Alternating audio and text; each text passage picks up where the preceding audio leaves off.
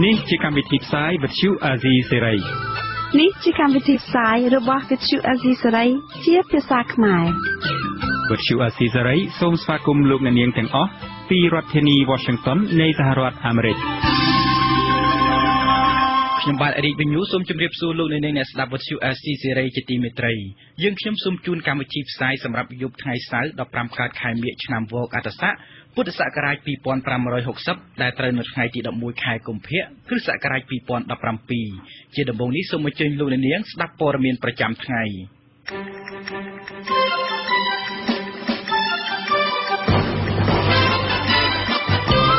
លោកសំរងស៊ីលាលែងពីប្រធានគណៈបកសង្គ្រោះជាតិ វត្តអារាមក្នុងខេត្តក្រុងមួយចំនួនបានរៀបចំពិធីបុណ្យមាឃបូជារួមទាំងព័ត៌មានសំខាន់សំខាន់មួយចំនួនទៀត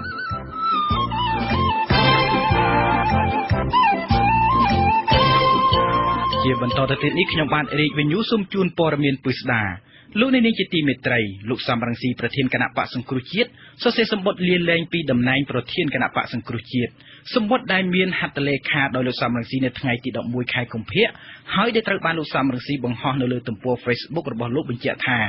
ការដែលលោកលាលែងពីតំណែងប្រធានបកនិងពីសមាជិកគណៈបកសង្គ្រោះជាតិនេះដោយសារមូលហេតុផ្ទាល់ខ្លួនរបស់លោក លោកស្នើឲ្យគណៈកម្មាធិការអចិន្ត្រៃយ៍និងគណៈកម្មាធិការនយោបាយគណៈបកសង្គ្រោះជាតិទទួលយកសេចក្តីសម្រេចនេះដោយចូលជាធរមានចាប់ពីថ្ងៃចុះហត្ថលេខានេះតទៅទោះបីជាយ៉ាងណាលោកសំរងស៊ីបានសរសេរនៅលើទំព័រ Facebook របស់លោកដដែលថាគ្រប់កលៈទេសៈលោកនៅតែរក្សាឧត្តមកតេសង្គ្រោះជាតិជានិច្ចក្នុងបេះដូងរបស់លោកសូមលោកនាងរងចាំស្ដាប់កិច្ចពិភាក្សាជុំវិញរឿងនេះក្នុងកម្មវិធីផ្សាយរបស់វិទ្យុអាស៊ីសេរីនាពេលបន្តិចទៀតនេះអាស៊ីសេរី លោកនាងជាទីមេត្រីការខ្វែងគំនិតគ្នាតាមផ្លូវនយោបាយរវាងបកធំធំទាំងពីរដែលមានអាសនៈក្នុងសភាកាន់តែមិនអាចឈានទៅដល់ការផ្សះផ្សាបានសារនយោបាយនិងសម្ដីឆ្លើយឆ្លងឌឺដងឲ្យគ្នាទៅវិញទៅមកបានជំរុញឲ្យវិវាទនេះកាន់តែរីកធំឡើងធំឡើងពីមួយថ្ងៃទៅមួយថ្ងៃក្នុងដំណាក់កាលចុងក្រោយនេះ មេបកប្រឆាំងបានហៅសំណើធ្វើវិសោធនកម្មមាត្រាមួយចំនួននៃច្បាប់ស្តីពីបកនយោបាយរបស់សមាជិកសភា ថាជាអាយ៉ងរបស់បកប្រជាជនកម្ពុជាលោកមុំរីរតរាយការណ៍ព័ត៌មាននេះប្រតិកម្មរបស់មន្ត្រីជាន់ខ្ពស់គណៈបកកណ្ដាលអំណាចនៅពេលនេះស្របពេលប្រមុខដឹកនាំបកប្រឆាំងបានរិះគន់ធ្ងន់ធ្ងរដោយចោទប្រកាន់សមាជិកសភាថាគ្រាន់តែជាឧបករណ៍សម្រាប់ឲ្យបកកណ្ដាលអំណាចប្រើប្រាស់ក្នុងន័យខ្ទប់សម្លេងបកសង្គ្រោះជាតិប៉ុណ្ណោះ លោកសុកអេសានមន្ត្រីនាំពាក្យគណៈបកប្រជាជនកម្ពុជាជំអរឲ្យលោកសំរងស៊ីថាសម្ដីរបស់មេបកប្រឆាំងនេះលែងមានអធិបុលតទៅទៀតហើយហើយក៏ជាសម្ដីដែលកើតឡើងច្រំដែលច្រំដែលអស់ពីជាច្រើនឆ្នាំណាស់មកហើយលោកព្រមានថាជីវិតនយោបាយរបស់លោកសំរងស៊ីនេះដែលជិតដល់ទីបញ្ចប់ទៅហើយឈប់ខ្លាំងតទៅទៀតទៅហើយម្យ៉ាងទៀត ចង់ដឹងថាតើច្បាប់ដែលកំពុងតែតាក់តែងនៅពេលនេះមានប្រសិទ្ធភាពបែបណានោះលោកផ្ដាំទៅលោកសំរងស៊ីត្រូវរងចាំមើលបន្តិចសិនចុះវាមិនមែនជារឿងចម្លែកទេដោយសំរងស៊ីនិយាយពេលនេះធ្លាប់និយាយវាច្រើនឆ្នាំមកហើយបាទម៉ោងឬមិនទីម៉ោងចាំមើលទៅថាទឹកក្រោយទឹកក្រោយនេះគេសម្រេចអនុម័តទៅតើអនុម័តច្បាប់នឹងបានឬមិនបានបើទោះជាបែបណាលោកសំរងស៊ីបានបង្ខំសារនយោបាយនៅលើបណ្ដាញទំនាក់ទំនងសង្គម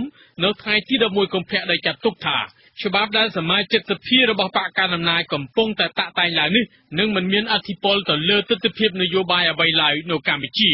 បន្ថែមពីលើនេះទៀតមេដឹកនាំគណៈបកប្រឆាំងដែលហុំព័ទ្ធទៅដោយមិនដឹងស្អីស្កះបានហៅរដ្ឋសភាថាគ្រាន់តែជាទីមងរបស់គណៈបកប្រជាជនកម្ពុជាប៉ុណ្ណោះម្យ៉ាងទៀតការបង្កើតសំណុំរឿងជាច្រើននៅតុលាការប្រឆាំងរូបលោកនេះគ្រាន់តែជាលេសដើម្បីរំលាយគណៈបកសង្គ្រោះជាតិហើយច្បាប់នេះ នឹងនាំឲ្យកម្ពុជាមានប្រព័ន្ធបកតែមួយឡើងវិញដោយក្នុងសម័យកុម្មុយនីសជាក់ទិនរឿងនេះសេចក្តីជូនដំណឹងរបស់រដ្ឋសភាឲ្យដឹងថាគណៈកម្មាធិការចិនត្រៃ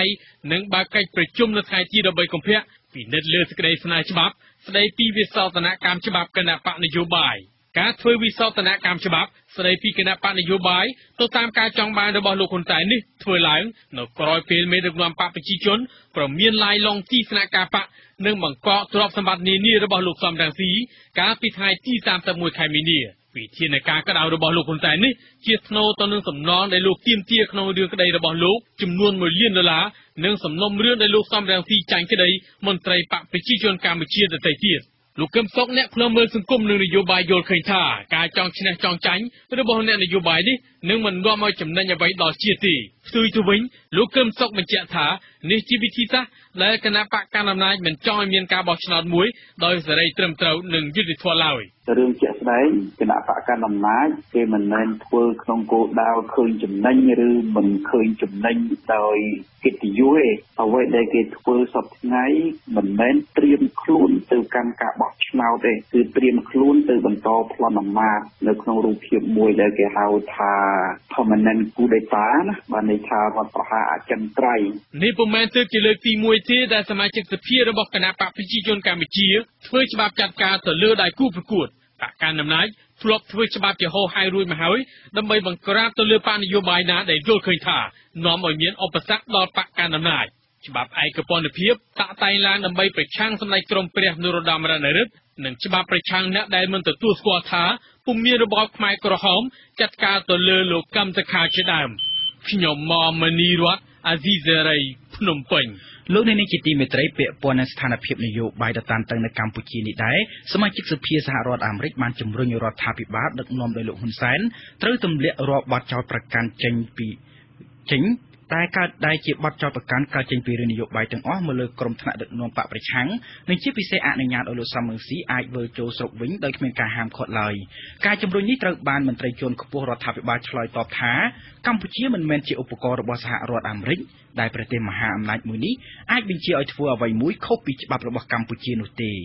ស្របពេលការបោះឆ្នោតកាន់តែខិតជិតមកដល់ក្រុមសមាជិកសភាសហរដ្ឋអាមេរិកចង់ឃើញរដ្ឋាភិបាលកម្ពុជាឈប់ធ្វើទុកបុកម្នេញមកលើថ្នាក់ដឹកនាំគណៈបកសង្គ្រោះជាតិជាពិសេសត្រូវធានាថាមេបកប្រឆាំងទាំងលោកសំរងស៊ីនិងលោកកឹមសុខាអាចរួចផុតពីការចោទប្រកាន់ពីតុលាការដែលកើតចេញពីសំណុំរឿងនយោបាយ។ កាលពីថ្ងៃទី9កុម្ភៈសមាជិកសភាសហរដ្ឋអាមេរិកពីររូបគឺលោក Alan Leventhal និងលោក Steve Chabot បានផ្ញើលិខិតមួយទៅកាន់រដ្ឋមន្ត្រីការបរទេសរបស់ខ្លួនដែលទើបឡើងកាន់តំណែងថ្មីក្នុងរដ្ឋបាលប្រធានាធិបតីលោក Donald Trump គឺលោក Rex Tillerson ក្នុងលិខិតនេះគឺស្នើរដ្ឋមន្ត្រីការបរទេសអាមេរិកថ្មីត្រូវយករឿងបោះឆ្នោតដោយសេរីនិងយុត្តិធម៌នៅកម្ពុជាធ្វើជារឿងអតិភិបដាក់បញ្ចូលក្នុងគោលនយោបាយការបរទេសរបស់សហរដ្ឋអាមេរិកសម្រាប់ប្រទេសកម្ពុជាលើសពីនេះរដ្ឋាភិបាលកម្ពុជាត្រូវតែទម្លាក់រាល់បទចោទប្រកាន់កើតចេញពីរឿងនយោបាយទាំងអស់មកលើថ្នាក់ដឹកនាំគណៈបកប្រឆាំងនិងឈប់ធ្វើទុកបុកម្នេញមន្ត្រីបកប្រឆាំងព្រមទាំងត្រូវអនុញ្ញាតឲ្យលោកសំរងស៊ីអាចវិលចូលស្រុកវិញដោយគ្មានការហាមឃាត់ទោះជាបែបនេះក្តីមន្ត្រីនាំពាក្យរដ្ឋាភិបាលលោកផៃស៊ីផានឆ្លើយតបថាក្រុមសមាជិកសភាសហរដ្ឋអាមេរិកកំពុងយល់ច្រឡំថាកម្ពុជាគឺជាឧបករណ៍ដែលខ្លួនអាចប្រើប្រាស់តាមអំពើចិត្តផ្ទុយទៅវិញអ្វីដែលកម្ពុជាកំពុងធ្វើនៅសប្តាហ៍ថ្ងៃនេះគឺស្របតាមរដ្ឋធម្មនុញ្ញរបស់ប្រទេសកម្ពុជាប៉ុណ្ណោះអានេះគ្រាន់តែជាការលើកឡើងសម័យខុសពីស្ថានភាពពិតដោយសារសំរងស៊ីគឺទទួលឯការដាក់បន្ទុកពីតុលាការរបស់កម្ពុជាដែលមានអង្គហេតុគឹមទៅដូច្នេះក្នុងនាមអ្នកច្បាប់របស់សហរដ្ឋអាមេរិកនឹងគួរតែពិចារណាឲ្យមានភាពទីបន្លាយបន្តិចអំពីអង្គហេតុនិងអង្គច្បាប់ដែលយើងនាំគ្នានិយាយអំពីនីតិរដ្ឋនោះអ្វីត្បិតយ៉ាងណាក៏ដោយនៅក្នុងលិខិតរបស់ក្រុមសមាជិកសភាសហរដ្ឋអាមេរិកបន្តថាក្រោយពីរដូវកាលបោះឆ្នោតជាតិឆ្នាំ2013ដែលធ្វើឲ្យបកកណ្ដាលអំណាចស្ទើរតែបាត់បង់អំណាចរបស់ខ្លួនមកគឺថ្នាក់ដឹកនាំបកប្រឆាំងទាំងលោកសំរងស៊ីនិងលោកកឹមសុខាបានប្រឈមមុខនឹងបទចោទប្រកាន់និងការស៊ើបអង្កេតព្រមត្តនជាច្រើនដែលកើតចេញពីរឿងនយោបាយហើយបន្ទាប់មកលោកសំរងស៊ីត្រូវបានគេបង្ខំឲ្យចាក់ចេញពីប្រទេសនិងមិនអាចវិលចូលស្រុកវិញស្របពេលលោកកឹមសុខាបានឃុំខ្លួនឯងនៅទីស្នាក់ការបកអស់ជាច្រើនខែអ្វីដែលរឹតតែរំខានខ្លាំងបំផុតចំពោះបកប្រឆាំងគឺរដ្ឋាភិបាលរបស់លោកនាយករដ្ឋមន្ត្រីហ៊ុនសែនកំពុងស្នើធ្វើវិសោធនកម្មច្បាប់ស្តីពីនយោបាយដែលអាចឈានទៅដល់ការរំលាយគណៈបកប្រឆាំង លោក Allen Leventhal និងលោក Steve Chabot លើកឡើងថាការបោះឆ្នោតក្រុមប្រឹក្សាឃុំសង្កាត់នៅឆ្នាំ2017និងការបោះឆ្នោតជាតិនៅឆ្នាំ2018គឺជាគន្លឹះដ៏រឹងមាំនៃលទ្ធិប្រជាធិបតេយ្យរបស់កម្ពុជាដូច្នេះពួកលោកសង្ឃឹមថាការបោះឆ្នោតទាំងនេះអាចធ្វើឡើងដោយសេរីនិងយុត្តិធម៌គូត្រូវคล้ายជារឿងអតិភិបសម្រាប់គោលនយោបាយការបរទេសសហរដ្ឋអាមេរិកនៅក្នុងប្រទេសកម្ពុជាក្រសួងការបរទេសអាមេរិកអាចដើរតួនាទីសំខាន់ក្នុងការទាក់ទងជាមួយរដ្ឋាភិបាលកម្ពុជាដើម្បីធ្វើយ៉ាងណាឲ្យការបោះឆ្នោតទាំងនេះ អាចធ្វើឡើងដោយសហគមន៍អន្តរជាតិជឿទុកចិត្តបានក្រុមសមាជិកសភាសហរដ្ឋអាមេរិកទាំងពីររូបនេះបញ្ជាក់ថាដើម្បីឲ្យបរិយាកាសនយោបាយនៅកម្ពុជាមានភាពល្អប្រសើរវិញគឺទោះតែរដ្ឋាភិបាលកម្ពុជាទម្លាក់បទចោទប្រកាន់ផ្សេងផ្សេងកើតចេញពីរឿងនយោបាយមកលើក្រុមមេដឹកនាំបកប្រឆាំងនិងឈប់រំខានព្រមទាំងអនុញ្ញាតឲ្យលោកសំរងស៊ីវិលចូលស្រុកវិញ ហហើយអនុញ្ញាតឲ្យមានក្រុមអ្នកអង្កេតការឯករាជ្យចូលទៅបំពេញការងារគ្រប់មណ្ឌលបោះឆ្នោតទាំងអស់ជាថ្មីម្ដងទៀតក្រុមសមាជិកសភាទាំងពីររូបនេះបានអបអរសាទរចំពោះលោក Rick Tillerson ដែលបានក្លាយជារដ្ឋមន្ត្រីការបរទេសថ្មីសហរដ្ឋអាមេរិកហើយពួកលោកនឹងធ្វើការងារជាមួយគ្នាដើម្បីធ្វើឲ្យមានការគោរពសិទ្ធិមនុស្សបន្ថែមនិងលទ្ធិប្រជាធិបតេយ្យព្រមទាំងការគោរពច្បាប់នៅកម្ពុជាដែរ លោកអ្នកនាងជាទីមេត្រីយើងងាកចេញពីរឿងនយោបាយចូលមកបុណ្យសាសនាវិញម្ដងទីវត្តអារាមក្នុងខេត្តក្រុងមួយចំនួនបានរៀបចំពិធីបុណ្យមាឃបូជា ដែលប្រព្រឹត្តទៅនៅថ្ងៃសៅរ៍ទី11ខែកុម្ភៈត្រូវនៅថ្ងៃ15កើតពេញបូរមីព្រះសង្ឃនិងពុទ្ធបរិស័ទខេត្តក្រុងបានប្រារព្ធពិធីនេះយ៉ាងអធិកអធមមានជាអធិអាតនៅភ្នំអត្តរៈឬហៅថាភ្នំឧដុង្គមាននៅខេត្តសៀមរាបនិងខេត្តបន្ទាយមានជ័យជាដើមដើម្បីរំលឹកដល់ព្រះសម្មាសម្ពុទ្ធដែលព្រះបរមគ្រូអ្នកស្រីខែសំណងមានសេចក្តីរាយការណ៍ព័ត៌មាននេះ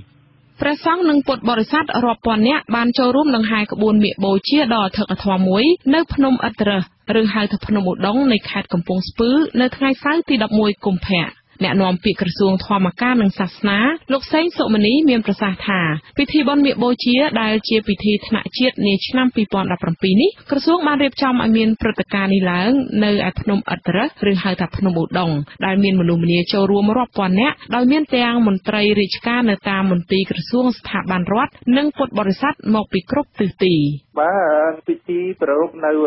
ទីមុខ និងសុសច្ចមនីចេតិយនឹងតំណងណាល្ងាចនេះមានសូត្រមុនទេសនាបន្តទៀតដែលមានរោងទិសប្រចាំនៅនោះ5កន្លែងហើយព្រះអង្គធំធំលោកបានរៀបចំរដ្ឋាភិបាលលោកឲ្យជួយទំនុកបំរុងទៅតាមតំណងរបស់ រដ្ឋាភិបាលផងដែរហើយយើងធ្វើពិធីប្រពៃបួងសួងប្រកាសនេះហ្នឹងនៅភ្នំម្ដងនឹងតំដងតកតងទៅនឹងព្រឹត្តិការណ៍នេះដែរនៅឯវត្តដំណាក់នៃខេត្តសៀមរាបព្រះសង្ឃព្រមទាំងពុទ្ធបរិស័ទមកពីច្រើនខេត្តរួមទាំងរាជធានីភ្នំពេញផងបាននាំគ្នារាប់បាតព្រះសង្ឃចំនួន500អង្គ ព្រះភិក្ខុឈន់ឈឿនគ្រូសូត្រស្ដាំវត្តដំណាក់ខេត្តសៀមរាបមានថេរដីកាថាការប្រារព្ធពិធីបុណ្យមាឃបូជានៅឆ្នាំនេះប្រហាក់ប្រហែលឆ្នាំមុនមុនដែរព្រះដេចគុណមានថេរដីកាថាក្បួនដង្ហែដែលមានរថយន្តតុបតែងលម្អដោយក្រណាត់និងផ្កាភ្ញីនិងមានដឹករូបពុទ្ធបដិមាដែលតុបតែងដោយផ្កាស្រស់បានចាប់ផ្ដើមចេញដំណើរពីវត្តដំណាក់ឆ្ពោះទៅកាន់ដងផ្លូវសំខាន់សំខាន់ដោយមានភ្លេងប្រគំលាយឡំជាមួយសំឡេងធម៌បន្ទាប់មកមានបាញ់កាំជ្រួចចំនួន3ដងព្រះភិក្ខុឆនឈឿនបញ្ជាក់ថាព្យុហយាត្រាមានក្បួនដង្ហែចែកចេញជា6ផែនផែនទី1គឺមានរថយន្តភ្លេងពិណពាទ្យអ្នកកាន់បដាអបអរសាទរបុណ្យមាឃបូជាសាសានុសិស្សអ្នកកាន់ទង់ពុទ្ធសាសនា ផែនទី2រថយន្តព្រះអង្គត្រាស់ដឹងដែលតុបតែងដោយផ្កាស្រស់ព្រះសង្ឃកាន់ទង់សាសនា អ្នកកាន់បដាមាឃបូជា ផែនទី3គឺរថយន្តព្រះអគ្គសាវកឆ្វេងស្ដាំ ដែលមានអ្នកកាន់បដាមានគរុសិស្សចំនួន200នាក់ផែនទី4រថយន្តតម្កល់ព្រះចង្កូមកែវសម្បដិមិត្តអ្នកស្លៀកពាក់ក្បិនបែបប្រពៃណីផែនទី5មានរថយន្តតម្កល់ព្រះពោធិព្រឹក្សនិងព្រះត្រៃបិដក និងផែនទី6គឺរថយន្តតម្កល់ព្រះសារីរិកធាតុហើយពីវត្តដំណាក់ឆ្ពោះទៅ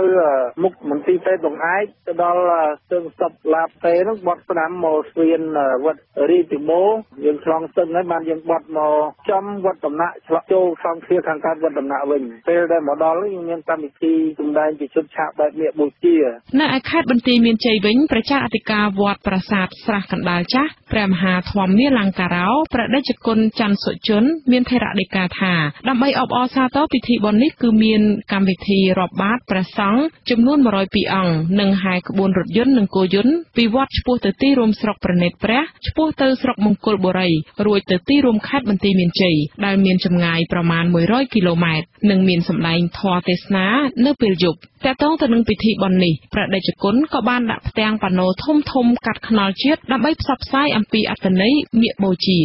ដើមមកយើងស្រាប់ឃើញដាក់រូបប្រាពីឥឡូវស្មាដាក់ទូអបអរសាទរអនុមោទនាបុណ្យវគ្គបូជានៅផ្លូវធំធំ6ផ្ទាំងមកនៅច្រកទៅ28 ពីរផ្ទាំងច្រកទៅខេត្តសៀមរាបពីរផ្ទាំងច្រកមកខេត្តបាត់ដំបងពីរផ្ទាំងដាក់រូបព្រះសម្មាសម្ពុទ្ធព្រះអង្គដាក់ប្រជជនលូយូសង្ខានិងព្រះអង្គប្រជជនសាវកសន្និបាតក្រសួងធម្មការនិងសាសនាក៏បានចេញសេចក្តីប្រកាសថា នៅតាមទីវត្តអារាមនានាក៏មានរៀបចំពិធីបុណ្យមាឃបូជានេះដែរចា៎នាងខ្ញុំខែសុណងអាស៊ីសេរីភ្នំពេញ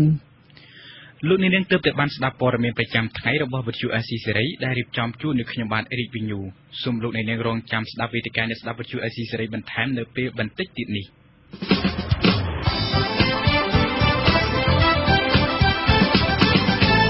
លោកនាងអ្នកស្ដាប់ជាទីមេត្រីនៅយប់ថ្ងៃពុធនេះ នេតិវេទិកាអ្នកស្ដាប់វិទ្យុអេស៊ីសេរីមានកិច្ចពិភាក្សាជុំវិញប្រធានបទការលាលែងពីតំណែងប្រធានបករបស់លោកសំរងស៊ីលោកអ្នកនាងអាចផ្ដល់យោបល់ឬសួរវាគ្មិនកិត្តិយសរបស់នេតិយើងដោយផ្ទាល់តាមរយៈលេខទូរស័ព្ទ012 811 911លេខ011 611 711និងលេខ023 211 804លោកអ្នកនាងក៏អាចផ្ញើជាសំណួរមកកាន់កម្មវិធីយើងទាំងមុននឹងក្នុងពេលផ្សាយតាមរយៈអ៊ីមែល rsk.org+org rfa.org ក្រៅពីស្ដាប់សម្លេងតាមវិទ្យុលោកអ្នកនាងក៏អាចទស្សនាជាវីដេអូតាមអ៊ីនធឺណិតដែរ សូមលោកអ្នកនាងចូលទៅកាន់គេហទំព័រ www.rfa.org+ ខ្មែររួចចុចទៅលើពាក្យថាផ្សាយផ្ទាល់វេទិកាអ្នកស្ដាប់នៅខាងស្ដាំនៃទំព័រដើម្បីទស្សនាវីដេអូផ្សាយផ្ទាល់នៃកម្មវិធីវេទិកាអ្នកស្ដាប់វិទ្យុអាស៊ីសេរីចាប់ពីពេលនេះរហូតដល់ម៉ោង8កន្លះយប់ម៉ោងនៅកម្ពុជាកម្មវិធីនេះសម្របសម្រួលដោយលោកជីវិតាវេ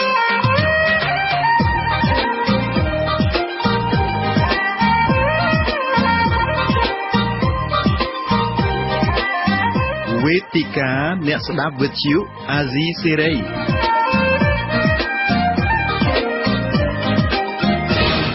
បាទខ្ញុំអាជីវិតាសូមជម្រាបសួរលោកអ្នកនាងកញ្ញាទាំងអស់ជាទីមេត្រីបាទបាទដោយបានជម្រាបហើយ ប្រធានបទសម្រាប់ពិភាក្សានៅក្នុងរាត្រីថ្ងៃសៅរ៍នេះគឺយើងនឹងជជែកគ្នាអំពីការលាលែងរបស់លោកសំរងស៊ីពីប្រធាននិងពីសមាជិកគណៈបកសង្គ្រោះជាតិបាទយើងមានវាគ្មិនពីររូបគឺលោកកឹមសុខ អ្នកឃ្លាំមើលការអភិវឌ្ឍសង្គមនិងនយោបាយបាទសូមជម្រាបសួរលោកកឹមសុខបាទបាទអឺយើងមានវាគ្មិនវាគ្មិនមួយរូបទៀតគឺលោកសូចន្ទាអ្នកជំនាញខាងវិទ្យាសាស្ត្រនយោបាយចូលរួមតាមទូរស័ព្ទជម្រាបសួរលោកសូចន្ទាបាទបាទជម្រាបសួរបាទបាទជម្រាបសួរអរគុណដែលបានចូលរួមបាទបាទលោកអ្នកស្ដាប់ជាទីមេត្រីនៅល្ងាចមិញនេះយើងមានដំណឹងដ៏គួរឲ្យភ្ញាក់ផ្អើលមួយគឺលោកសំរងស៊ីប្រធានបកសង្គ្រោះជាតិ បានបង្ហោះលិខិតមួយច្បាប់នៅលើ Facebook របស់លោកប្រកាសលាលែងពីប្រធានគណៈបកសង្គ្រោះជាតិនិងពីសមាជិក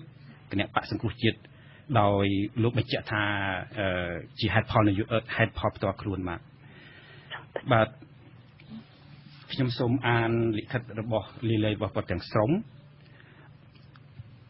បាទលិខិតរបស់គាត់មានសេចក្តីដូចតទៅខ្ញុំសំរងស៊ីប្រធានគណៈបកសង្គ្រោះជាតិសូមជម្រាបជូន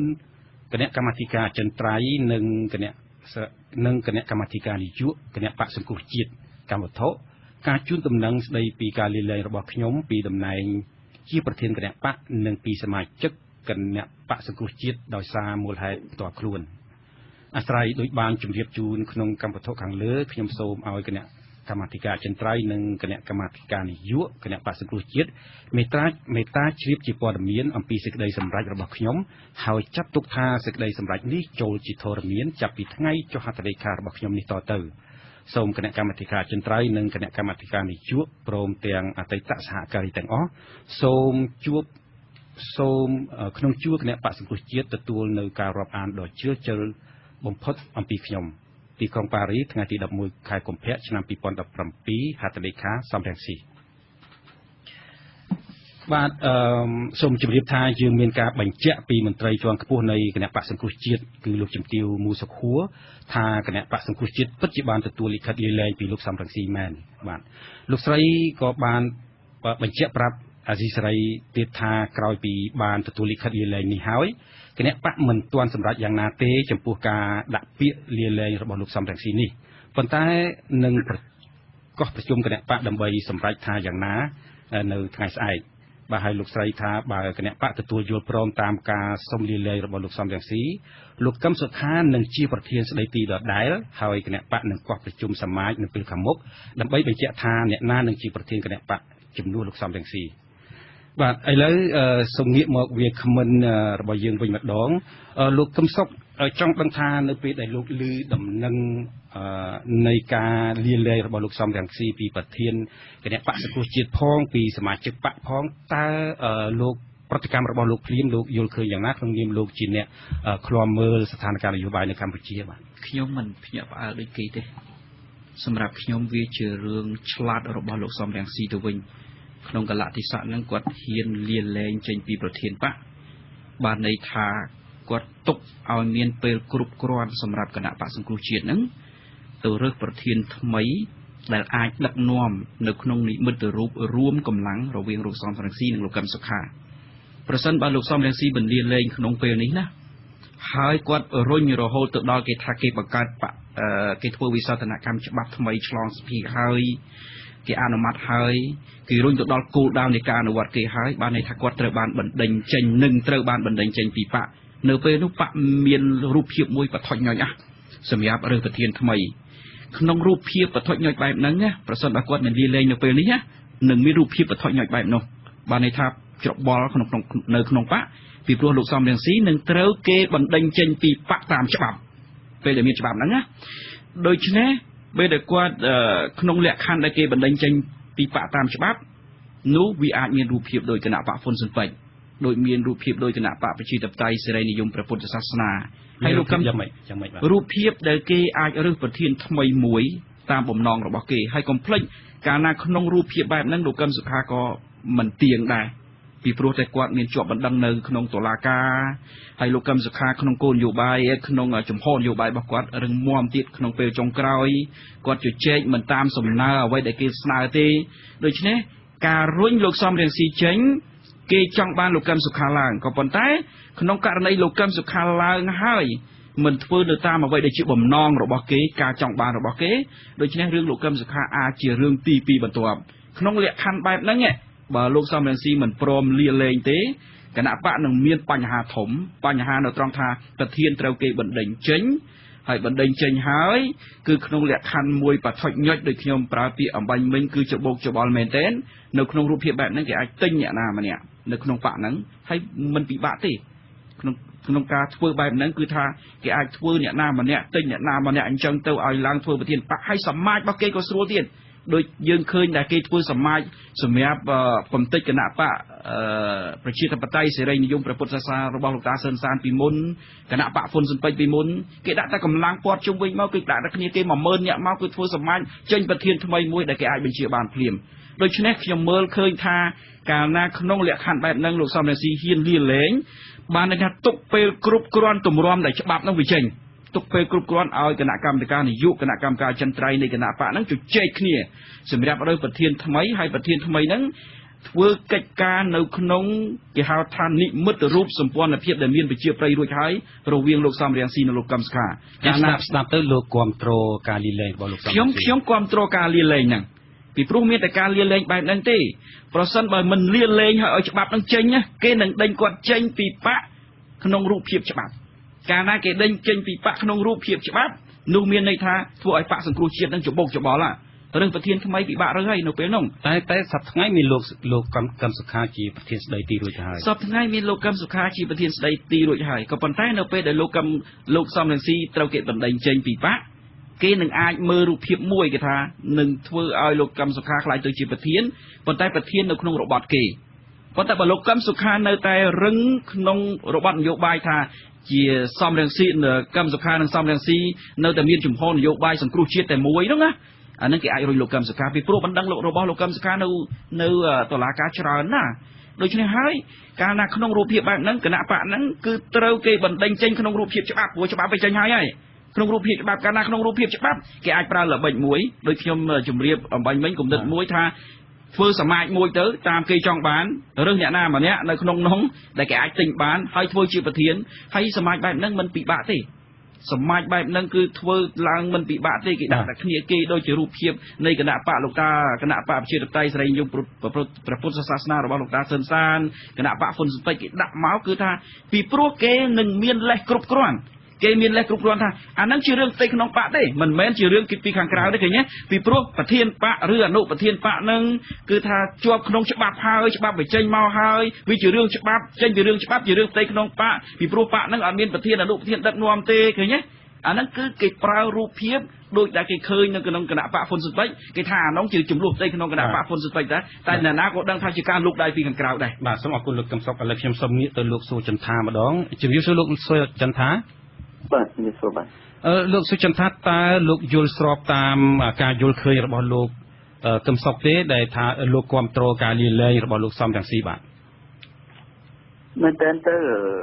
អ្វីដែលជាការលៀនលែងរបស់លោកសំរងស៊ីពេលនេះវាឆ្លោះប្រចាំងទាំងចំណុចវិជ្ជមានហើយទាំងចំណុចអវិជ្ជមាន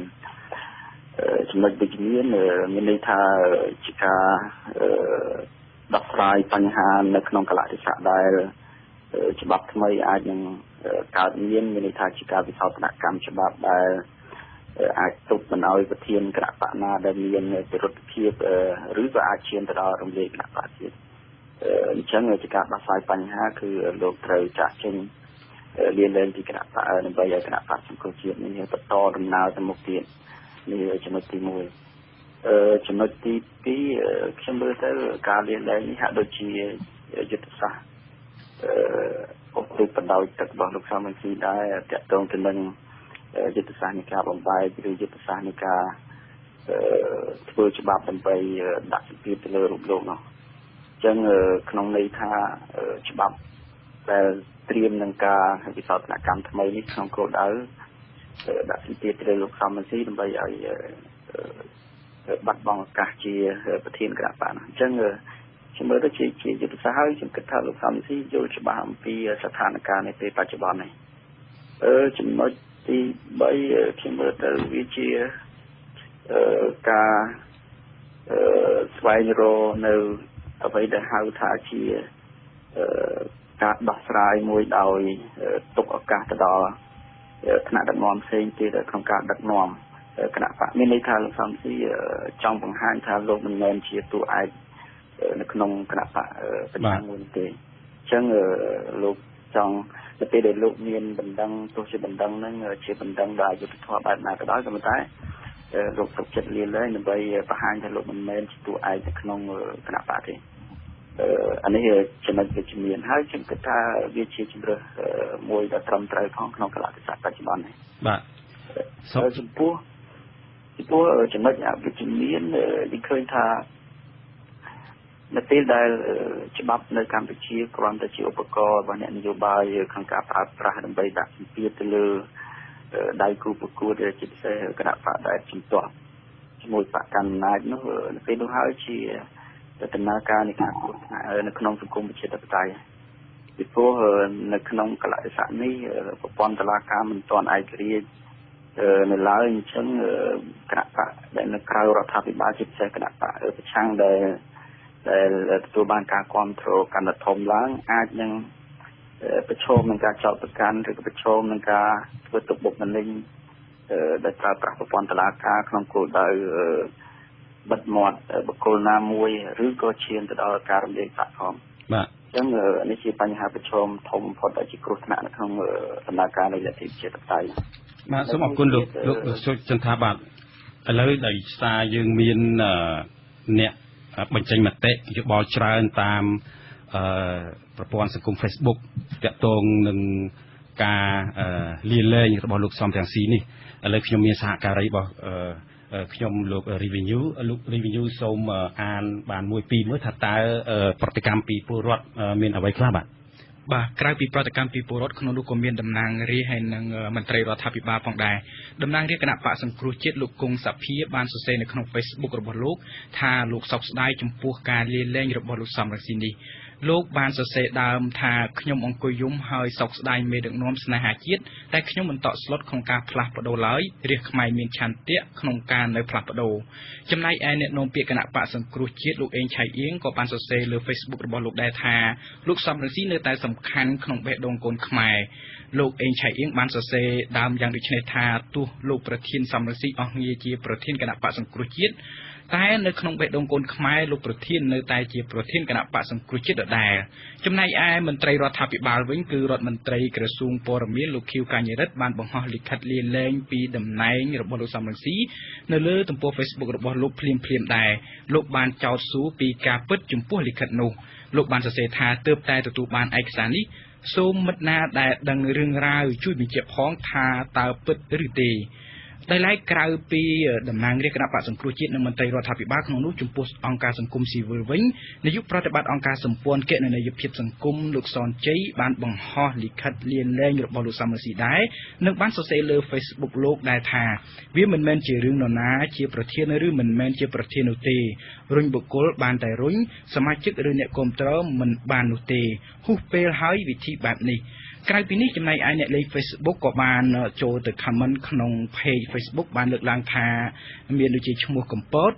លើកឡើងថាសំរងស៊ីសុកចិត្តលាលែងពីតំណែងព្រោះតែជាតិតែអ្នកខ្លះសុកចិត្តបំផ្លាញជាតិបំផ្លាញពលរដ្ឋព្រោះតែតំណែងដូច្នេះបងប្អូនគូគិតពិចារណាទៅថាឆ្នាំ2018គូធ្វើម៉េចរីឯអ្នកលេង Facebook ម្នាក់ទៀតឈ្មោះសំណាងកូនខ្មែរ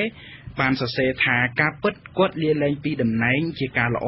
ព្រោះគាត់មិនចង់បាត់បង់គណៈបកសង្គ្រោះជាតិបើគាត់មិនលាលែងទេគឺគេនឹងរំលាយគណៈបកសង្គ្រោះជាតិតាជាតិចោលចំណែកអ្នកលេងម្នាក់ទៀតអ្នកលេង Facebook ម្នាក់ទៀតឈ្មោះសាបញ្ហា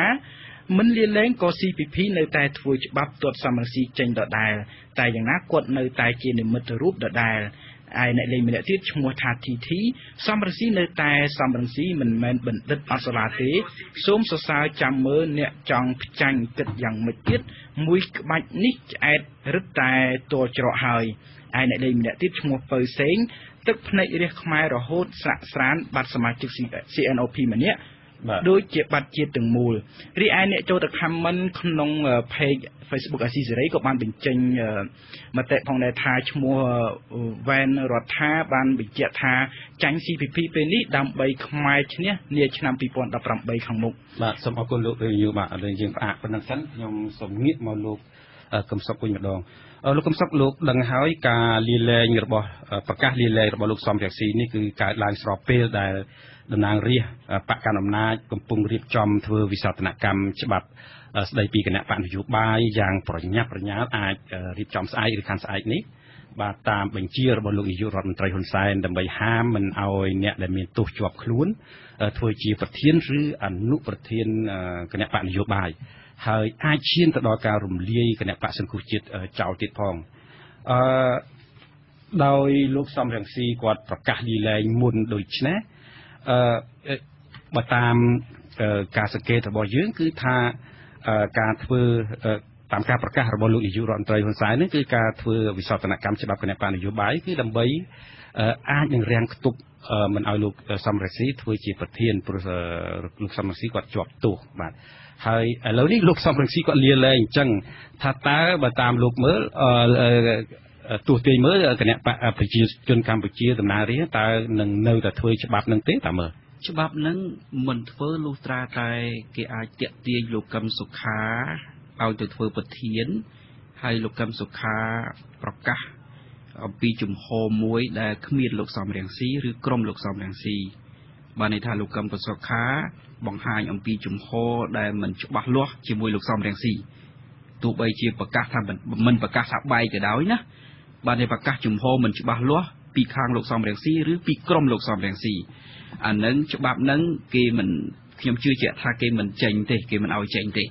ពីព្រោះអានឹងជាគោលបំណងរបស់គេគោលបំណងរបស់គេគឺឲ្យលោកកឹមសុខានិងលោកសំរៀងស៊ីបែកគ្នាហើយម្នាក់ទឹកនៅខាងក្រៅចឹងទៅម្នាក់មកដឹកនាំគណៈបកសង្គ្រោះជាតិក្នុងលក្ខខណ្ឌដែលគេចង់បានចឹងប៉ុន្តែប្រសិនបើលោកកឹមសុខានៅតែរឹងបើទោះបីជាលោកកឹមសុខាទៅជាប្រធានគណៈបកសង្គ្រោះជាតិក៏ដោយ ប៉ុន្តែលោកកឹមសុខានៅតែប្រកាសរឹងមាំថាលោកសំរៀងស៊ីនៅតែជាដៃគូគាត់ពីព្រោះទោះបីជាលោកសំរៀងស៊ីចាក់ចេញពីគណៈបកសង្គ្រោះជាតិក៏ដោយខ្ញុំថាច្បាប់នេះគឺនៅគេនឹងរុញឲ្យចេញបាទហើយខ្ញុំសូមរំលឹកអារឿងដែលថាខ្ញុំថាគ្រប់គ្រងលោកសំរៀងស៊ីគាត់លាលែងហ្នឹងណាសូមបញ្ជាក់បន្តិចថាតាមពិតទៅការលាលែងរបស់គាត់ក្នុងកលៈទេសៈនេះគឺជាវិធីឆ្លាតមួយឆ្លាតបំផុតពីព្រោះអីខ្ញុំបារម្ភដល់ប៉ុណ្ណេះ ថាប្រសិនបើគេរុញលោកសំរងស៊ីទៅហើយគេទាញលោកកឹមសុខាមិនបានទៀតដូច្នេះគេរុញនឹងទាំងលោកកឹមសុខាហើយបើគេរុញទាំងលោកកឹមសុខានោះវាដល់ដំណាក់កាលមួយដែលគេប្រើមនុស្សម្នាក់ឲ្យទៅធ្វើប្រធានគណៈបក្សសង្គ្រោះជាតិតាមរយៈសមាជដែលគេជួយរៀបចំឲ្យហើយក្នុងលក្ខខណ្ឌបែបនោះណាប្រសិនបើគេធ្វើបែបហ្នឹងគឺគ្រោះថ្នាក់ពីរគ្រោះថ្នាក់ធំទី1គឺថ្នាក់ដឹកនាំគណៈបក្សសង្គ្រោះជាតិជាថ្នាក់ដឹកនាំដែលគេរៀបចំ គ្រោះថ្នាក់ធំទី2គឺថាឧទាហរណ៍ថាប្រសិនប្រសិនបើគេបដូរទៅដល់ឈ្មោះគណៈបកទៀតបើគេបដូរទៅដល់ឈ្មោះគណៈបកទៀតបានន័យថាជើងក្រោមរបស់គណៈបកសង្គ្រោះជាតិដែលគេកំពុងតែរៀបចំសម្រាប់បញ្ជីឈ្មោះទៅក្រុមប្រឹក្សាគុំសង្កាត់នោះវាទៅជាញេរញេរញ៉ាយតែម្ដងរញ៉េរញ៉ាយហើយរៀបចំមិនទាន់នឹងបាក់ហ្នឹងនឹងចាប់ផ្ដើមរលាយតែម្ដង រលាយនៅក្រមនៅមុនការបោះឆ្នោតក្រមប្រឹក្សាគុំសង្កាត់អញ្ចឹងហើយបានជាខ្ញុំគិតឃើញថាការលាលែងរបស់លោកសំរងស៊ីនៅពេលនេះគឺជាការរៀបចំជើងព្រួលមួយសម្រាប់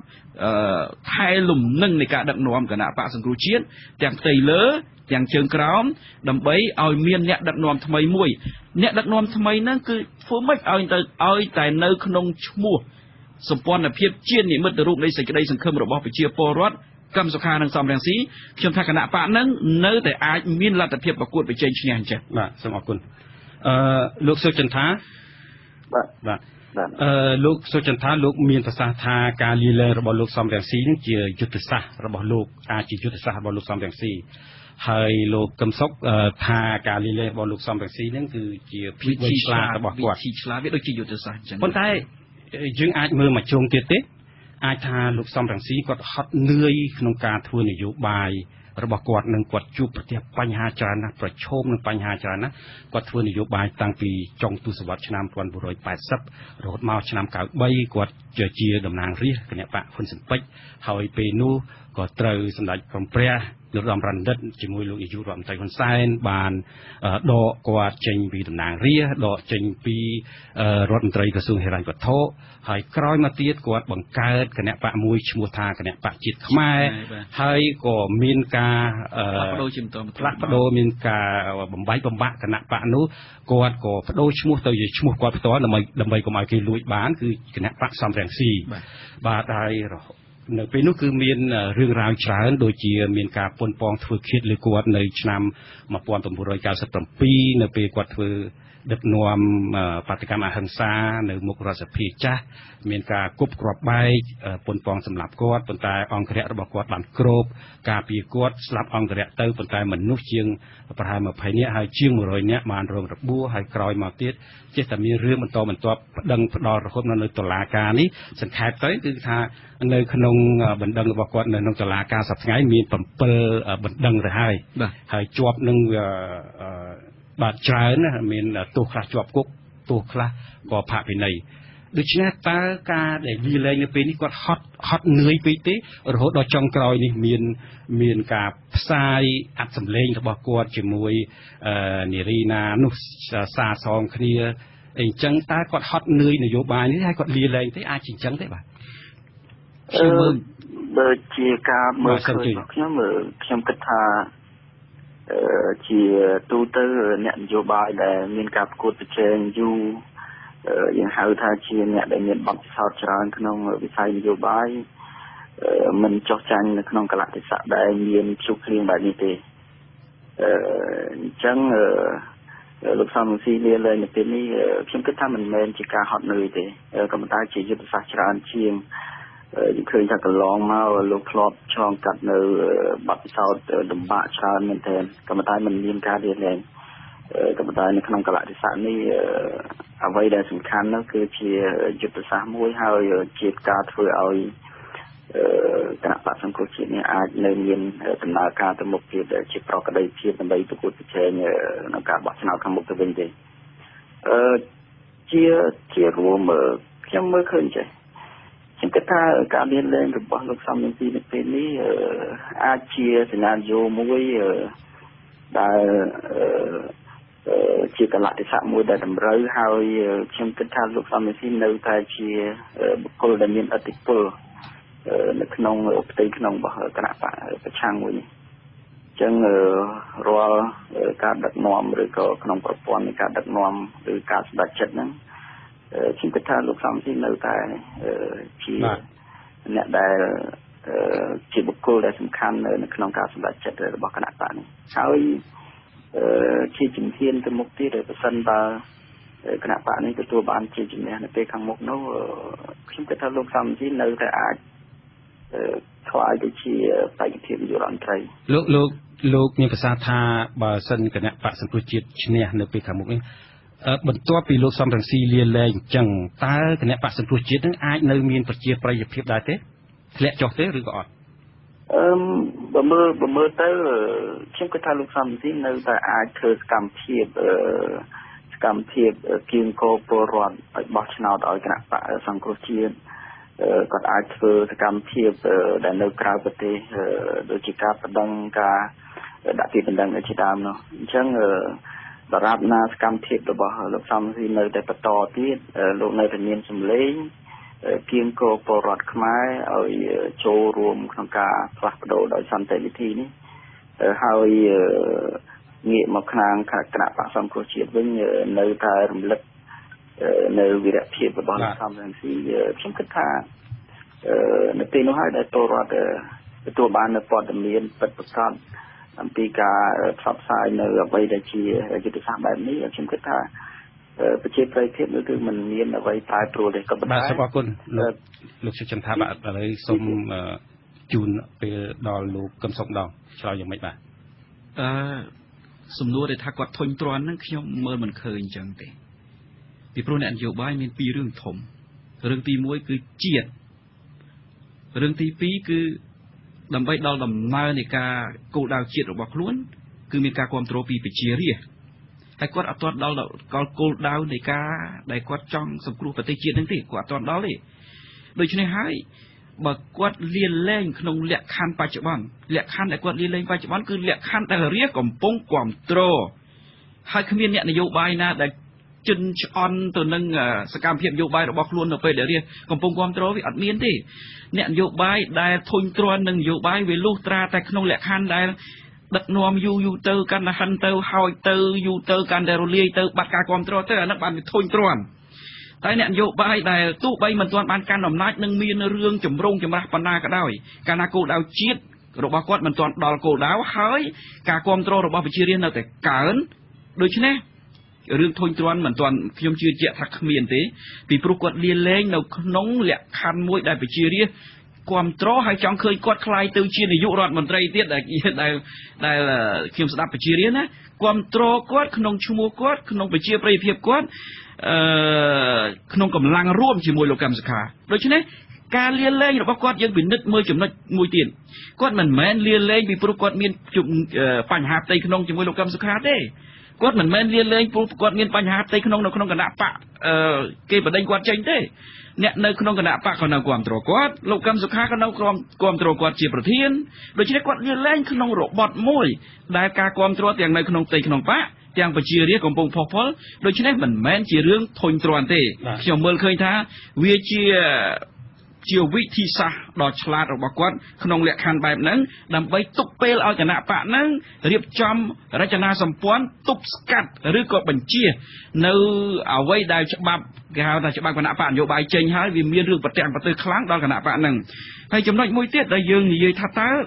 ប្រជាគណៈបកសង្គ្រោះជាតិនឹងធ្លាក់ចុះទេខ្ញុំថាប្រសិនបើក្រមមន្ត្រីនៃគណៈបកសង្គ្រោះជាតិនឹងយល់អំពីតម្លៃនៃការចេះធ្វើការជាមួយគ្នា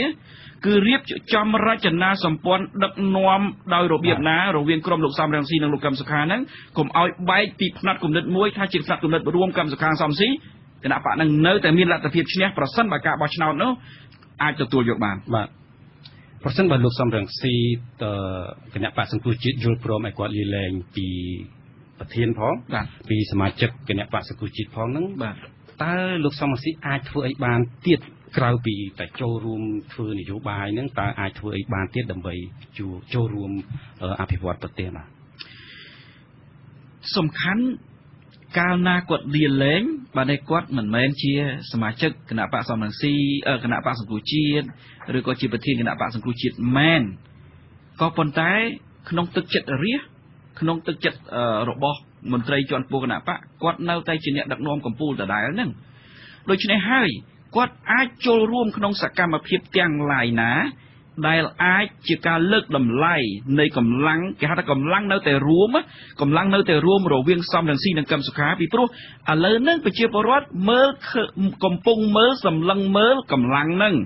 មិនមែនទោះបីលោកសំរងស៊ីនៅក្រៅលោកកឹមសុខានៅក្នុងលោកសំរងស៊ីនៅក្នុងលោកកឹមសុខានៅក្រៅក៏ដោយអ្នកនឹងអ្នកណាប្រធានអ្នកណាអនុប្រធានក៏ដោយមិនមែនរឿងហ្នឹងទេគឺរឿងអ្នកទាំងពីរនៅរួមគ្នាដូច្នេះបើសិនបើលោកសំស៊ីបាត់វត្តមានអញ្ចឹងក៏ដោយប៉ុន្តែកឹមសុខានិងសំរងស៊ីនៅតែមានគំនិតរួមអត់មានឆ្លោះប្រកែកគ្នាទេដូច្នេះ អានឹងខ្ញុំគិតថាលោកសំរងស៊ីនៅតែមានអធិបុលនៅក្នុងនយោបាយមួយដែលដែលជំរុញឲ្យការឈ្នះរបស់គណៈបកសង្គ្រោះជាតិកាន់តែលឿនចំណុចមួយទៀតវាមិនពិបាកទេនៅពេលដែលគណៈបកសង្គ្រោះជាតិនឹងអាចឈ្នះបាននៅឆ្នាំ2018ដូច្នេះការសម្រួលដំណើរនយោបាយបើឲ្យគាត់មកដឹកនាំវិញមានស្អីពិបាកវាជារឿងមួយដែលងាយស្រួលបំផុតហើយកន្លែងហ្នឹងហើយដែលជាការលើកទឹកចិត្តប្រជារាស្ត្រថា បញ្ហាសំខាន់មិនមែនសំរងស៊ីនៅក្រៅទេបញ្ហាសំខាន់មិនមែនសំរងស៊ីប្រធានឬមិនមែនជាសមាជិកទេបញ្ហាសំខាន់គឺសំរងស៊ីនិងកឹមសុខាហើយនឹងក្រុមគាត់ទាំងពីរហ្នឹងចេះធ្វើការរួមគ្នានៅតែជាកម្លាំងរួមរបស់គណៈបាសគ្រូជាតិអាហ្នឹងគឺនៅតែមានដំណើរឈ្នះទៅមុខចឹងបាទសូមអរគុណឥឡូវយើងសូមលើកទូរស័ព្ទមួយពីខេត្តកោះកុងលោកលោកសូជម្រាបសួរលោកសូបាទជម្រាបសួរបងបាទលោកមានសំណួរអីបាទបាទខ្ញុំមានសំណួរមួយបង តែមុនសួរសំណួរសូមសរសើរលោកកឹមសុខថ្ងៃមុនអឺវិភាគបានល្អរឿងឆ្កែឈួតហើយខ្ញុំសំណួរមួយទៅចេះទៅលោកកឹមសុខថារឿងលោកសំនឹងទីតើច្បាប់វិសោធនកម្មគណៈបកនយោបាយមិនទាន់បានចេញផងសំរងស៊ីលេលែងបាត់ហើយអាហ្នឹងតើជាការខ្លាចរបស់គាត់ឬក៏ជាករណីដូចភូមិមាដែលថាមានរដ្ឋធម្មនុញ្ញ ហាមដែលអ៊ុនសានស៊ូជីធ្វើប្រធានាធិបតីតែអ៊ុនសានស៊ូជីមានអំណាចជាងប្រធានាធិបតីទៀតហើយករណីសំស៊ីនេះអាចដូចភូមិមានដែរទេបាទសូមអរគុណបាទសូមលោកកឹមសុខលោកកឹមសុខសូមដោយខ្លីដូចឬមិនឆ្លើយបានច្រើនហើយដូចឬមិនដូចតើតែគណៈបក្សសង្គ្រោះជាតិនឹងឈ្នះសិនបាទឈ្នះហ្នឹងគឺដឹងថាដូចឬមិនដូចទេពេលហ្នឹងចំណុចទី2តើគាត់មិនមែនខ្ញុំខ្ញុំផ្ដល់យោបល់ប្រជាពលរដ្ឋថានេះមិនមែនជារឿងកំសាកទេក្នុងនយោបាយ ពីព្រោះកាលណាយើងនៅបន្តរហូតទៅដល់គេដេញយើងចេញដោយច្បាប់គេទៅរឹបអូសគេទៅធ្វើបែបណាមួយយើងអត់ដឹងទេពេលហ្នឹងពីព្រោះអាហ្នឹងគឺជារឿងច្បាប់គេទៅរឹបអូសធ្វើបែបណាមួយយ៉ាងណាមួយហើយល្បិចកលរបស់គេវាខ្ពស់ណាស់ហើយដូច្នេះហើយគាត់លៀនលែងឲ្យបានមុនដើម្បីទុកពេលនឹងឲ្យបានច្រើនសម្រាប់គណៈបកខ្ញុំថានឹងវិធីឆ្លាតវិញឯងបាទសូមអរគុណឥឡូវខ្ញុំសូមជំរាបសួរអំពីអឺគណៈបកកណ្ដាលអំណាចម្ដង គណៈបកប្រជាជនកម្ពុជាអឺបើយើងក្រឡេកមើលអឺព្រឹត្តិការណ៍កន្លងមកនេះ គឺថាអឺខាងគណៈបកកណ្ដាលអំណាចខាងរដ្ឋាភិបាលបានធ្វើការគៀបសង្កត់ខ្លាំងណាស់ទៅលើគណៈបកប្រឆាំងតាមច្រើនវិធីទាំងតាមផ្លូវតុលាការមានការចោទប្រកាន់ច្រើនទៅថ្នាក់ដឹកនាំគណៈបកប្រឆាំងមានទាំងលោកសំរងស៊ីលោកកឹមសុខាហើយនិង មន្ត្រីជាន់ខ្ពស់មួយចំនួនទៀតនឹងវិធីតាមតុលាការវិធីផ្សេងទៀតនឹងមានការបង្ខំឃុំឃាំងលោកកឹមសុខាឲ្យនៅក្នុងទីស្នាក់ការគាត់ហើយមានការផ្សព្វផ្សាយនៅកិច្ចសន្ទនាតាមទូរស័ព្ទរឿងអាស្រូវស្រីញីអឺ រហូតដល់ចុងក្រោយនេះមិនត្រឹមតែលោកកឹមសុខាទេគឺមានទាំងមន្ត្រីមួយចំនួនទៀតដែលមានឈ្មោះអឺច្រើននៅក្នុងការផ្សព្វផ្សាយសម្លេងដែលលួចថតអាត់អាត់សម្លេងអឺខុសច្បាប់នេះហើយក្រោយពីយល់ឃើញថាអាចលោកនាយករដ្ឋមន្ត្រីយល់ឃើញថាអាចប្រើប្រាស់លោកកឹមសុខាបានក៏សុំស្នើសុំការលើកលែងទោសពីព្រះមហាក្សត្រជូនទៅលោកកឹមសុខាហើយ ភ្លាមភ្លាមក៏លើក ដំកើងលោកកឹមសុខាជាប្រធានក្រុមប្រឹក្សាប្រធានសម្លេងភាគតិចនៅរដ្ឋសភាជំនួសលោកសំរងស៊ីជាដើមដែលគេមើលឃើញថានោះជាយុទ្ធសាស្ត្របំបែកបំបាក់លោកសំរងស៊ីនិងលោកកឹមសុខាហើយលោកលោកក្រោយមកលោកកឹមសុខាមិនធ្វើតាមលោកនាយករដ្ឋមន្ត្រីអីមួយគាត់ទាញលោកកឹមសុខាទម្លាក់វិញហើយក៏ខឹងលោកកឹមសុខាលោកនាយករដ្ឋមន្ត្រីក៏ប្រកាសបង្គាប់តំណាងរាជគណៈបព្វជិជនឲ្យធ្វើច្បាប់វិសោធនកម្មទៅលើច្បាប់គណៈបកនយោបាយដើម្បីដូចដូចយើងបានជជែកហើយដើម្បីមិនឲ្យប្រធានអនុប្រធានគណៈបកដែលមានអឺជាប់ទោសធ្វើនយោបាយជាដើមគឺថាបើមើលទៅគឺមានការគៀបសង្កត់ច្រើនមកគណៈបកប្រឆាំងនេះតើអឺលោកកឹមសុខមើលឃើញថាគណៈបកប្រជាជនកម្ពុជាកំពុងធ្វើនេះអឺអាចនឹង បង្កើននៅប្រជាប្រិយភាពរបស់ខ្លួនដែរឬទេ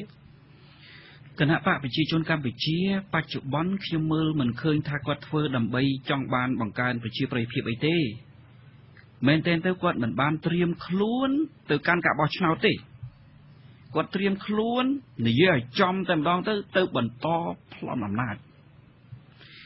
គាត់មិនត្រៀមខ្លួនទៅកាន់ការបោះឆ្នោតទេហេតុអីបានបានមិនត្រៀមខ្លួនទៅកាន់ការបោះឆ្នោតបើ គាត់ត្រៀមខ្លួនទៅកាន់ការបោះឆ្នោតគឺគាត់យកចិត្តរាហើយពីព្រោះរាគឺជាម្ចាស់សម្លឹកឆ្នោតទោះឲ្យរាពេញចិត្តបានអាចឈ្នះឆ្នោតតាមសម្លេងប្រជារាបានដូច្នេះហើយយ៉ាងម៉េចគាត់គាត់មើលឃើញថាដំណាក់កាលអស់នេះគាត់លែងរំពឹងទៅលើការយកចិត្តរាសកើតដែរដូច្នេះមានតែប្រើវិធីឯវិធីដែលលោកជំរាបអំបញ្ញមិញច្រើនមកហ្នឹងវាជាវិធីរបស់គេហើយវិធីចុងក្រោយមួយគឺថាគាត់សង្កត់ជារបៀប ជារបៀបមួយដែលគេហៅថាសង្កត់សង្កត់គ្រប់រូបភាពណាដូចខ្ញុំធ្លាប់តែជំរាបបញ្ជាក់ថាអាច្បាប់គេធ្វើវិសោធនកម្មច្បាប់ស្ដីពីគណៈបកនយោបាយនេះគឺជាកម្ពូលស្នាដៃផ្ដាច់ការសាហាវជាងគេនៅក្នុងអាណត្តិហ្នឹងណាបានតែគេប្រើគ្រប់រូបភាពអស់ហើយក្រោយការបោះឆ្នោតឆ្នាំ2013មានការតវ៉ារបស់ប្រជាពលរដ្ឋ ហើយមានការបង្ក្រាបចង្បាញ់សម្លាប់ទៅទៀតក្រោយមកប្រជាពលរដ្ឋនៅតែតវ៉ាតវ៉ាហើយគេប្រើរូបភាពផ្ដាច់ការដូចជាយន្តហោះហោះលើគណៈបកអាគារគណៈបកសង្គ្រោះជាតិចេញមកពីរូបភាពហ្នឹងមានរឿងផ្សេងផ្សេងដូចជាការចាប់ដៃលោកសំស៊ីលោកកឹមសុខាអីហ្នឹងរូបភាពអស់ហ្នឹងគឺថាដើម្បីជារូបភាពមួយក្នុងល្បិចកលផ្ដាច់ការដើម្បីគំតិចគណៈបកសង្គ្រោះជាតិប៉ុន្តែធ្វើបែបអស់នឹងហើយសម្លាប់ហើយអីហើយនឹង ចាំចុងក្រោយសម្រាប់លោកកែមលីទៀតសម្រាប់ហើយអីហើយនឹងពលរដ្ឋនៅតែងើបអញ្ចឹងហើយមានតែប្រើវិធីមួយចុងក្រោយទេ គឺវិធីប្រើច្បាប់គឺថាប្រើប្រព័ន្ធច្បាប់ដើម្បីសម្លាប់សកម្មភាពនយោបាយប្រជាធិបតេយ្យជាប្រព័ន្ធតែម្ដងបាទតែកំតិចដូច្នេះហើយគេប្រើច្បាប់ដើម្បីបិទបិទផ្លូវលោកសំរងស៊ីហ្នឹងគោលដៅរបស់គេមិនមែនតែលោកសំរងស៊ីទេគោលដៅរបស់គេគឺកំទេចគណៈបកសង្គ្រោះជាតិមិនមែនតែលោកសំរងស៊ីម្នាក់ឯងទេដូច្នេះហើយកាលណាការកំទេចគណៈបកសង្គ្រោះជាតិ គេមិនទាន់បានបើសិនគណៈបកកណ្ដាលអំណាចធ្វើរបៀបនោះអឺគាត់អាចគិតដល់ការគ្រប់គ្រងពីពលរដ្ឋការគ្រប់គ្រងពីសហគមន៍អន្តរជាតិទេអឺគាត់ហួសពេលនឹងគិតរឿងហ្នឹងពីព្រោះដូចខ្ញុំជម្រាបដំបូងថាគាត់មិនត្រៀមខ្លួនទៅការការបោះឆ្នោតទេបើគាត់ត្រៀមខ្លួនទៅការការបោះឆ្នោតគឺគាត់ដោះស្រាយបញ្ហារីហើយគាត់ដោះស្រាយបញ្ហាជាតិហើយគាត់មិនមែនធ្វើអ្វីដែលផ្កើនទៅនឹងការចង់បានរបស់ប្រជារាស្ត្រទេដូច្នេះនៅពេលដែលគាត់មើលឃើញថា ថាគាត់មិនមិនមិនគណៈបកកណ្ដាលអំណាចមិនគិតគូរដល់ការបោះឆ្នោតខាងមុខក៏អឺខ្ញុំមិនជំទាស់ទេតែបើសិនជាយើងមើលទៅគឺ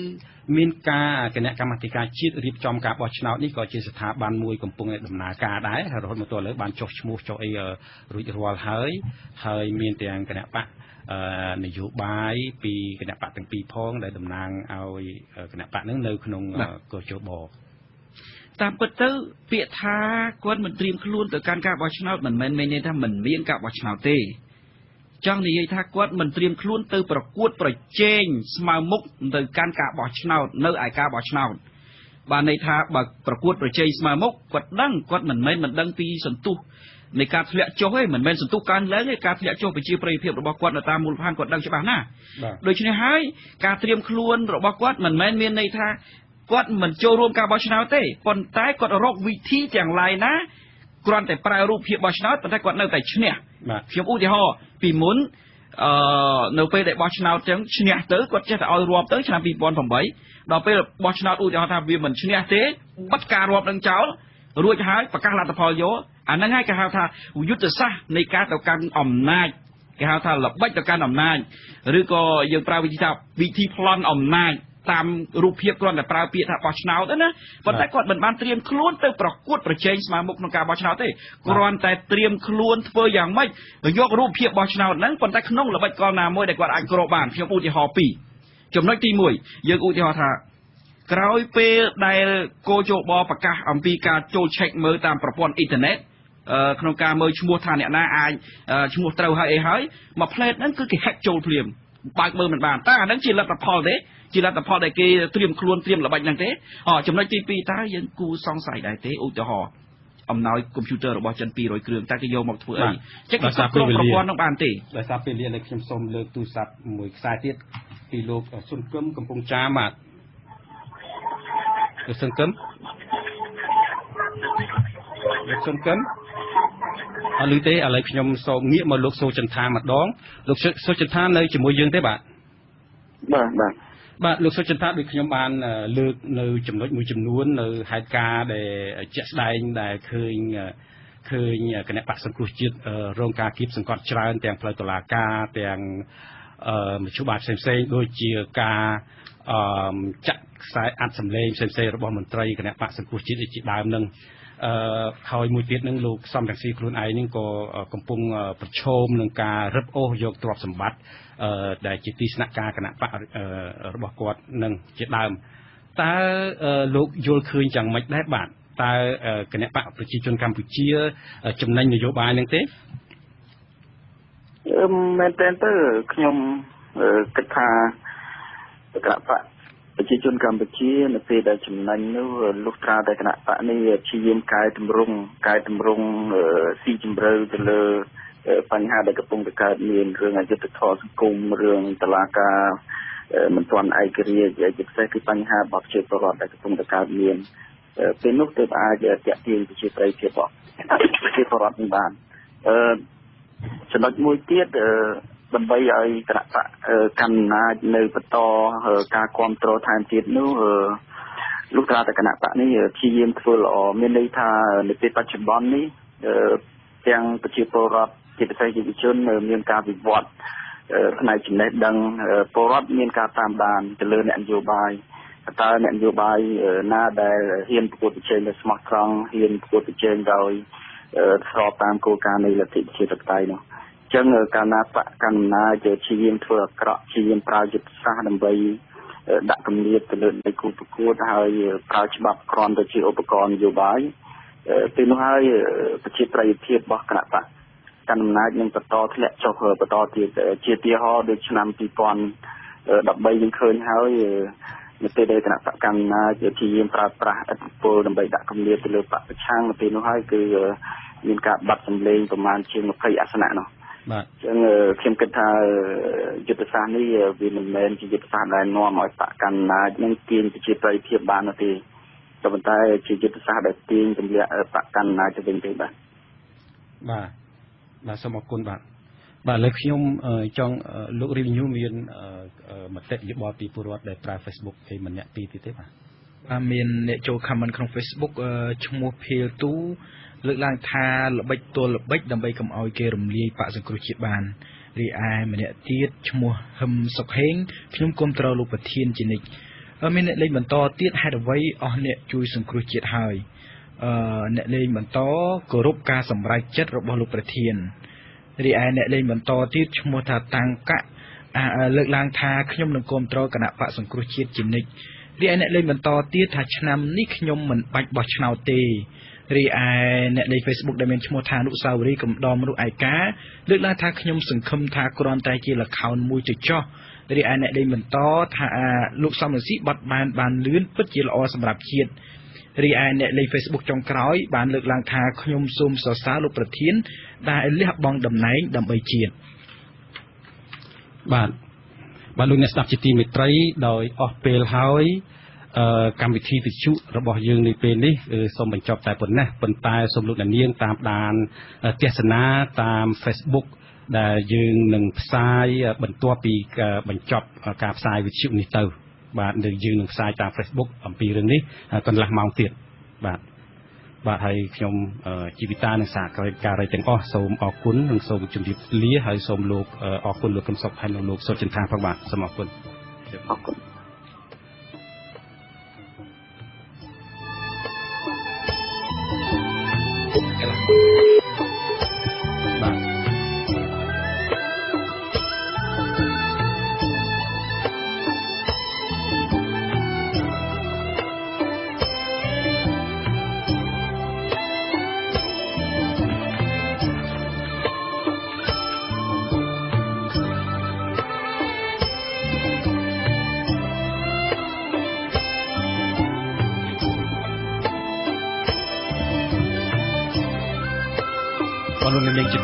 រីឥឡូវនេះកម្មវិធីវិទ្យុបានចប់ហើយឥឡូវយើងសូមបន្តទៅទៀតតែតាមរយៈបណ្ដាញ Facebook បាទឥឡូវយើងសូមលើកទូរស័ព្ទមួយខ្សែពីលោកសុនកឹមកំពង់ចាមបាទបាទឥឡូវអ្នកបច្ចេកទេសថាដាច់ទៀតហើយឥឡូវខ្ញុំសូមជំរាបសួរលោកកឹមសុកម្ដងទៀត តាមការវិភាគរបស់លោកលោកមើលឃើញថាការដែលលាលែងរបស់លោកសំរងស៊ីនេះអាចនឹងធ្វើឲ្យគណៈបកសង្គ្រោះជាតិនឹង